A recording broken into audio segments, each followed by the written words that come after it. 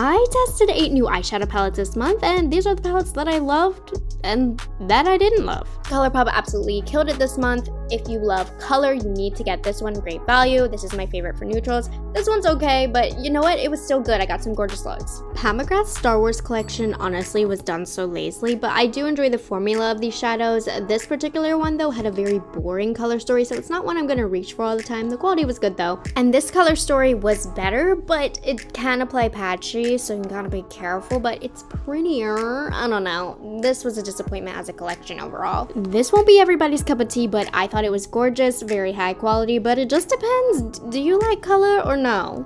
This is what I would call a dupe for $90 Tom Ford eyeshadows because they give that effortless eye look that's really smooth over the lid. Very elegant. Hear me out, she might look boring, but this is one of Viseart's prettiest palettes, the highest of high quality. It looks 10 times more gorgeous on the eyelid.